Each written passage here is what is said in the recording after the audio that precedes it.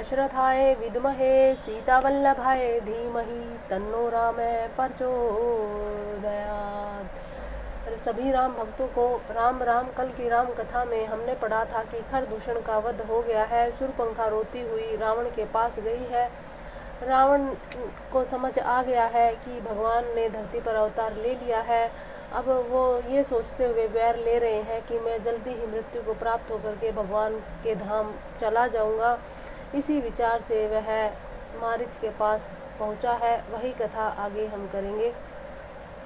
सुनहु प्रिया, वरत रुचि सुशीला, मैं कछु कर भी ललित नर लीला। तुम्हें पावक महु करहु निवासा, जो लगी करो निशा चरनासा इधर श्यावर रामचंद्र जी भगवान जी लीला करने के लिए है। लक्ष्मण जी जब कंद मूल फल लेने के लिए वन में गए, तब अकेले में कृपा और सुख के धाम श्री रामचंद्र जी हंसकर जानकी जी से बोले हे प्रिय, हे सुंदर पति वर्त धर्म का पालन करने वाले सुशीले, सुनो, अब कुछ मनोहर मनुष्य लीला करूँगा। इसलिए जब तक मैं राक्षसों का नाश करूँ, तब तक तुम अग्नि में निवास करो। जब ही राम, सब कहा, बखानी, प्रभु पद धरी है, अनल समानी, निज प्रतिबिंब राखी, तहसी सीता तह शील रूप सुबिनीता जब राम ने ये सब कहा, त्यों ही श्री सीता जी ने प्रभु के चरणों को हृदय में धर कर अग्नि में समा गई। सीता जी अपनी ही छाया मूर्ति वहाँ रख दी, जो उनके जैसे ही सील स्वभाव और रूप वाली तथा वैसी ही विनम्र थी। लक्ष्मण मन हुई है मर मुन जाना, जो कछु चरित रचा भगवाना। दस मुख गयऊ जहाँ मारी चा नाई माथ सवार रतनी चा भगवान ने जो कुछ लीला रची, उस रहस्य को लक्ष्मण जी भी ने नहीं जाना। स्वार्थ परावण और नीच रावण वहाँ गया जहाँ वारिस था और उसको सिर नवाया। नवनी नीच के अति सुख नवनी नीच कै अति दुखदाई जिमी अंकुश धनु उरग बिलाही, भयदायक खल कै प्रियवानी जिमी अकाल कै कुसुम भवानी। नीच का झुकना नम्रता भी अत्यंत दुखदाई होता है, जैसे अंकुश धनुष सांप और बिल्ली का झुकना। हे भवानी, दुष्ट की मीठी वाणी भी उसी प्रकार भय दिलाने वाली होती है, जैसे बिना ऋतु के फूल। करी पूजा मारी तब सादर पूछी बात। कवन हेतु मन व्यग्र अति? अक्सर आयहु तात। तब मारिच ने उसकी पूजा करके आदर पूर्वक बात पूछी, हे तात, आपका मन किस कारण से इतना अधिक व्यग्र है और आप अकेले आप अकेले आए हैं? दस मुख सकल कथा कहीं आगे, कहीं सहित अभिमान अभागे। हों कपट मृग तुम झलकारी, जही विधि हरि, आनो नृपनारी भाग्यहीन रावण ने सारी कथा, अभिमान सहित सबके सामने कही और फिर कहा, तुम छल करने वाले कपट मरक बनो जिस उपाय से मैं राजवधु को हर लाऊं? तेही पुनि कहा सुनाऊ दस सीसा? ते नर रूप चराचर ईसा तातो तात बैरू नहीं कीजे। मारे मारिय जिया ही दीजे तब उसने मारी से कहा, हे दस शीस सुनिए, वे मनुष्य के रूप में चराचर ईश्वर है। हे तातुन से वैर न कीजिए। उन्हीं के मारने से मरना, उन्हीं के जिलाने से जीना होता है। सबका जीवन मरण उन्हीं के अधीन है। मुनि रख राखन गय कुमारा, बिनु फर सर रघुपति मोहि मारा। सत जो जन आयहु छन माही तिन सन बैरु किए भल नाही। यही राजकुमार मुनि विश्वामित्र के यज की रक्षा के लिए गए थे। उस समय श्री रघुनाथ जी ने बिना फल का बाण मुझे मारा था, जिससे मैं क्षण भर में ही सौ योजन आ गिरा उनसे वैर करने में भलाई नहीं है। मई मम कीट भ्रंग की नाई, जह तय मैं देखूँ दो भाई, जो नर तात तद अति सूरा जी नहीं विरोधी न आई यही पूरा। मेरी दशा तो भ्रंग, भ्रंगी के कोड़े की सी हो गई है। अब मैं जहाँ जहाँ श्री राम, श्री लक्ष्मण जी दोनों भाइयों को देखता हूँ, और हे तात यदि ये मनुष्य हैं तो भी बड़े सूरवीर हैं। उनसे विरोध करने में पूरा न पड़ेगा, सफलता नहीं मिलेगी। का सुबाहुमति खंडे हूँ हर को दंड खर दूषण तीसरा वधे मनुष्य की यश बरी बंड जिसने ताड़का और सुभाव को मारकर शिव जी का धनुष तोड़े और खर और दूषण और त्रिशरा का वध कर डाला ऐसे प्रचंड बलि भी कहीं मनुष्य हो सकता है जाऊँ भवन कुल कुशल विचारी सुनत जरा दीनी हसी बहुकारी गुरु जी मूड कर सी मम बोधा कहूँ जग मोहि समान को जोधा अत अपने कुल की कुशल विचार कर आप घर लौट जाइए। यह सुनकर रावण जल उठा और उसने बहुत सी गालियाँ दी। दुर्वचन कहे, कहा, अरे मूर्ख, तू गुरु की तरह मुझे ज्ञान सिखाता है। बता तो संसार में मेरे समान योद्धा कौन है? तब मारिच ने, तब मारिच हृदय अनुमाना नव ही विरोधे नहीं कल्याणा, शस्त्री, मरमी, प्रभु सठ धनी वैद बंदी, कवि भान सगुनी तब मारिच ने हृदय में अनुमान किया कि शस्त्री, शस्त्रधारी, मर्मी, भेद जानने वाले, समर्थ स्वामी, मूर्ख, धनवान, वैद्य, भाट, कवि और रसोईया इन नौ व्यक्तियों से विरोध वैर करने में कल्याण नहीं, कुशल नहीं होता।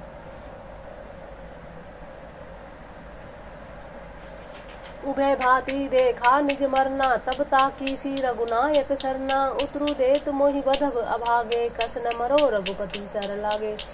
जब मारिच ने दोनों प्रकार से अपना मरण देखा, तब उसने रघुनाथ जी की शरण तकी अर्थात उनकी शरण जाने में कल्याण समझा।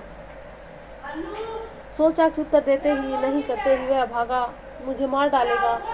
फिर रघुनाथ जी के बाण लगने से ही क्यों न मरूं? अस्य जानि दशानन संगा चला राम पद प्रेम अभंगा। मन अति हरस जनावन ते ही। आजू देखी हूँ परम स्नेही। हृदय में ऐसा समझ कर है, वह रावण के साथ चला। श्री राम जी के चरणों में उसका खंड प्रेम है। उसके मन में इस बात का अत्यंत हर्ष है कि आज मैं अपने परम स्नेही श्री राम जी को देखूँगा, किंतु उसने यह हर्ष रावण को नहीं जनाया। निज परम प्रीतम देखी लोचन सुफर करी सुख पाहियो श्री सहित अनुज समेत कृपा निकेत पद मन लाहियो। निर्वाण दायक क्रोध जाकर भक्ति अब सही बस करी, निज पानी सर संधानी सो मोही बदी सुख सागर हरि। वह मन ही मन सोचने लगा, अपने परम प्रियतम को देख कर नेत्रों को सफल करके सुख पाऊँगा। जानकी जी सहित और छोटे भाई लक्ष्मण जी सहित कृपा निधान श्री राम जी के चरणों में मन लगाऊँगा। उनका क्रोध भी मोक्ष देने वाला है, जिसकी भक्ति अवश्य किसी के वश न होने वाले स्वतंत्र भगवान को भी वश करने वाली होती है। आहा, वे ही आनंद के समुद्र श्री हरि अपने हाथों से बाण संधान कर मेरा वध करेंगे। मम पाछे धर धावत धरे सरासन बाण, फिरी फिरी पर वो बिलो कहूँ धन्य न मौसम आन। और मारिच मन में सोचते हुए जाता है कि धनुष बाण धारण किए, मेरे पीछे पीछे पृथ्वी पर पकड़ने के लिए दौड़ते हुए प्रभु को मैं फिर फिर कर देखूँगा। मेरे समान धन्य दूसरा कोई नहीं। तेही बन निकट दना तेही वन निकट दशानन गए हूँ तब मारिच कपट मृग भय हूँ अति विचित्र कछु बर न जाई, कनक देह मनी रचित बनाई। जब रावण उस वन के जिस वन में रघुनाथ जी रहते थे, निकट पहुँचा, तब मारिच ने कपट मरक बन गया। वह अत्यंत विचित्र था। कुछ वर्णन न किया जा सकता। सोने का शरीर मणियों से जड़कर बनाया गया था। सीता परम रुचिर मृग देखा। अंग अंग सुमनोहर वेसा सुनहु देव रघुबीर कृपाला। एहि मृग कर अति सुंदर छाला। सीता जी ने उस परम सुंदर हिरण को देखा, जिसके अंग अंग की छटा अत्यंत मनोहर थी। वे कहने लगी, हे देव, हे कृपालु रघुवीर, सुनिए, इस मृग की छाल बहुत ही सुंदर है। सत्य संद प्रभु वधि करी एही, आनहु चरम कहती, वह रेही तब रघुपति जानत सब कारण, उठे हर सी सुर का सवारन जानकी जी ने कहा, हे सत्यप्रति के प्रभु, इसको मारकर इसका चमड़ा ला दीजिए। तब श्री रघुनाथ जी मारिच के कपट मरक बनने का सब कारण जानते हुए भी देवताओं का कार्य बनाने के लिए हर्षित होकर उठे। मृग बिलो की कटी परी कर बांधा, कर तल चाप रुचिर सर सांधा। प्रभु लक्ष्मण ही कहा, समझाई फिरत विपिन निशिचर भाई हिरण को देख कर श्री राम जी ने कमर में फेटा बांधा, हाथ में धनुष लेकर के उस पर सुंदर दिव्य बाण चढ़ाया। फिर प्रभु ने लक्ष्मण जी को समझाकर कहा हे भाई वन में बहुत से राक्षस फिरते हैं। सीता केरी करे रखवारी, बुद्धि विवेक बल समय विचारी, प्रभु बिलो की चला मृग भाजी, धाय रामू सरासन साजी। तुम बुद्धि और विवेक के द्वारा बल और समय का विचार करके सीता जी की रखवाली करना, प्रभु को देख कर मृग भाग चला, श्री रामचंद्र जी धनुष चढ़ाकर उसके पीछे दौड़े। सीता केरी करे रखवारी, बुद्धि विवेक बल समय विचारी, प्रभु बिलो की चला मृग भाजी, धाये राम सरासन साजी। तुम बुद्धि विवेक के द्वारा बल और समय का विचार करके सीता जी की रखवाली करना, प्रभु को देख कर मृग भाग चला, श्री रामचंद्र जी भी धनुष चढ़ाकर उसके पीछे दौड़े। निगमने शिव ध्यान न पावा, माया मृग पाछे सो धावा, कबहू निकट पुनि दूरी बनाई, कबहू प्रगट, कबहू छपाई। वे जिनके विषय में नेति नेति कहकर रह जाते हैं और शिव जी भी उन्हें ध्यान में नहीं पाते, अर्थात जो मन और वाणी से निरंतर परे है, वे ही श्री राम जी माया से बने हुए मृग के पीछे दौड़ रहे हैं। वह कभी निकट आ जाता है, कभी दूर भाग जाता है, कभी तो प्रकट हो जाता है और कभी छिप जाता है। प्रगट दूरत करत छल भूरी, यही विधि प्रभु गया ले दूरी। तब तक ही राम कठिन सर मारा धरणी पर करी घोर पुकारा। इस प्रकार प्रकट होता, छिपता हुआ बहुतेरे छल करता हुआ प्रभु जी से दूर चला गया, तब श्री राम जी ने तक कर निशाना साध कर कठोर बाण मारा जिसके लगते ही वह घोर शब्द करके पृथ्वी पर गिर पड़ा। लक्ष्मण कर प्रथम ले नामा, पाछे सुमरे सी मन माहू रामा। प्राण तजत पर गटे सी, निज देहा सुमरे सी, राम समेत स्नेहा। पहले लक्ष्मण जी का नाम लेकर उनके पीछे मन में श्री राम जी का स्मरण किया, प्राण त्याग करते समय उसने अपना राक्षसी शरीर प्रकट किया और प्रेम सहित श्री राम जी का स्मरण किया। अंतर प्रेमता सुपहिचाना मुनि दुर्लभ गति दीन सुजाना, विपुल सुमन सुर बर सही गावे प्रभु गुण गात निज पद दीन असुर कहूँ, दीन बंधु रघुनाथ। सुजान सर्वज्ञ श्री राम जी ने अप उसके हृदय के प्रेम को पहचान कर उसे वह गति दी। अपना परम पद दिया जो मुनियों को भी दुर्लभ है। देवता बहुत से फूल बरसा रहे हैं, प्रभु के गुणों की गाथाएँ गा रहे हैं। कि रघुनाथ जैसे दीन बंधु है कि उन्होंने असुर को भी अपना परम पद दे दिया।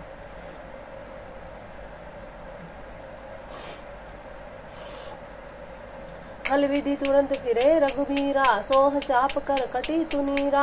आरत गिरा सुनी जब सीता, कह लक्ष्मण सन परम सभीता। दुष्ट मारिच को मानकर श्री रघुवीर जी तुरंत लौट पड़े। हाथ में धनुष, कमर में तरकर शोभा दे रहे हैं। इधर जब सीता जी ने दुख भरी वाणी मरते समय मारिच की, हाय लक्ष्मण, की आवाज़ सुनी? तो वे बहुत ही भयभीत होकर लक्ष्मण जी से कहने लगी जाऊँ बेगी संकट अति भाता लक्ष्मण सी कहा सुनी माता? भ्रगटी विलास सृष्टि ले होई, सपने संकट पर सोई। तुम शीघ्र जाओ, तुम्हारे भाई बड़े संकट में है। लक्ष्मण जी ने हंसकर कहा, हे माता, सुनो। जिसके भ्रगटी विलास भोए के इशारे मात्र से सारी सृष्टि का लय पर लय हो जाता है, वे श्री राम जी क्या कभी सौगन में भी संकट में पड़ सकते हैं?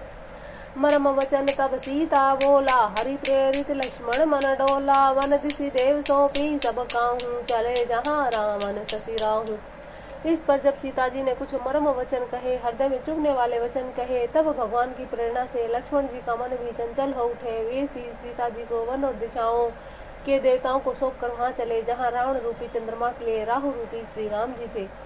सुन बीच दस कंधर देखा, आवा निकट जति के वेसा जाके डर सुर असुर डेराही निसी नींद दिन अन्न न खाही।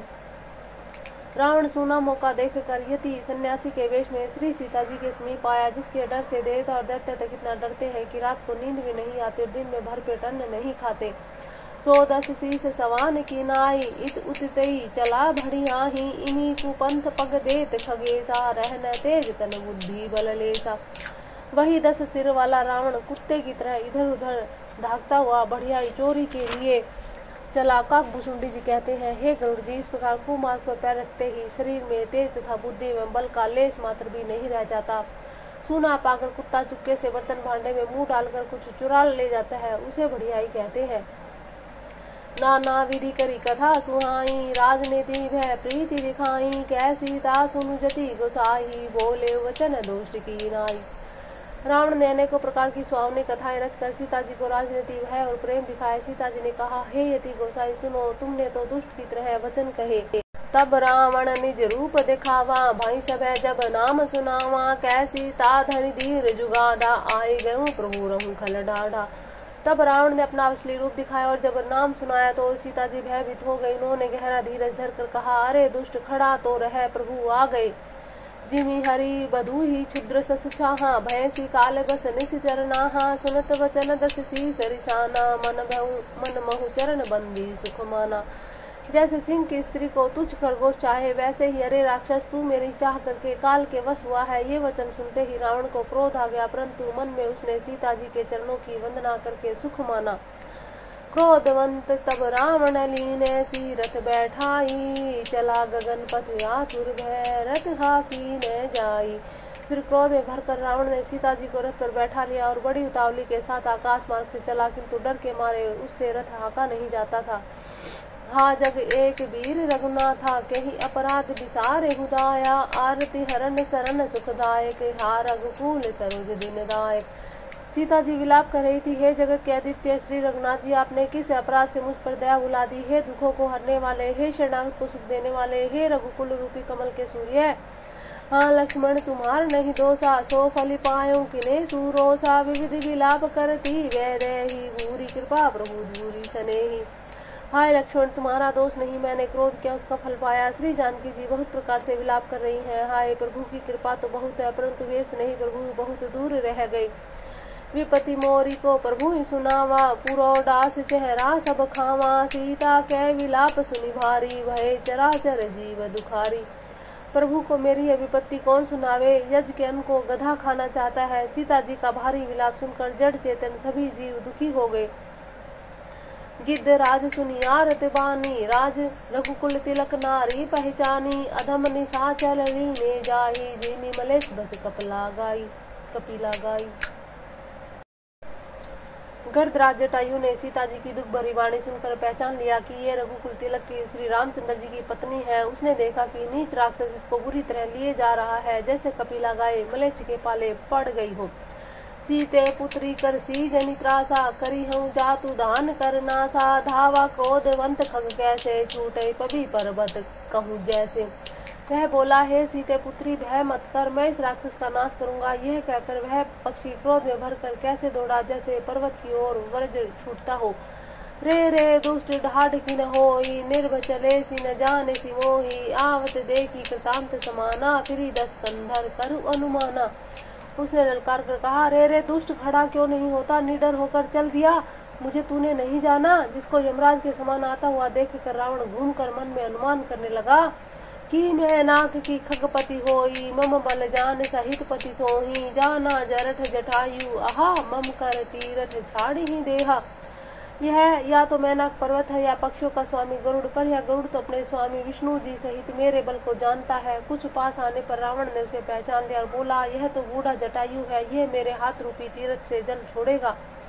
सुनत गीत क्रोता तुर धावा, कह सुनु रावण, मोर सिखावा ते जी जान की कुशल ग्रह जाऊँ, नहीं तय अस हो ही हूँ यह सुनते ही गीत क्रोध से भरकर बड़े वेग से दौड़ा, बोला, रावण, मेरी सिखावन सुन, जानकी जी को छोड़कर कुशलता पूर्वक अपने घर चला जा, नहीं तो हे बहुत बुझाऊ वाले, ऐसा होगा कि राम रोस पावक घोरा हो सकल सलभ कुल तोरा उतरुन देत दशानन जोधा, तवही गीत धावा करी क्रोधा। राम जी के क्रोध रूपी अत्यंत भयानक अग्नि में तेरा सारा वंश पतिंगा होकर भस्म हो जाएगा, योद्धा रावण कुछ उत्तर नहीं देता, तब गीत क्रोध करके दौड़ा। धरी कच विरथ की न मही गिरा सीत ही राखी फुन वीरा चौचन मारी बिदारे सिदे ही दंड एक भई मूर्छाते ही उसने रावण के बाल पकड़कर उसे रथ के नीचे उतार लिया। रावण पृथ्वी पर गिर पड़ा। गिद्ध सीता जी को एक और बैठाकर फिर लौटा, चोट से मार मार कर रावण के शरीर को विदृण कर डाला। इससे उसे एक घड़ी के लिए मूर्छा हो गई। तब से क्रोध निशिचर खिसियाना काटे सी परम कराल कृपाना काटे सी पंख परा खग धरनी सुमरी राम करी अद्भुत करनी। अब खिसियाए हुए रावण ने क्रोध युक्त होकर अत्यंत भयानक कटार निकाली और उससे जटायु के पंख काट डाले। पक्षी जटायु श्री राम जी की अद्भुत लीला का स्मरण करते हुए पृथ्वी पर गिर पड़ा। सीत ही जान चढ़ाई बहोरी, चला उताइल त्रास न थोरी, करती विलाप जाती नव सीता, व्याध विवश जनु मृगे सभीता।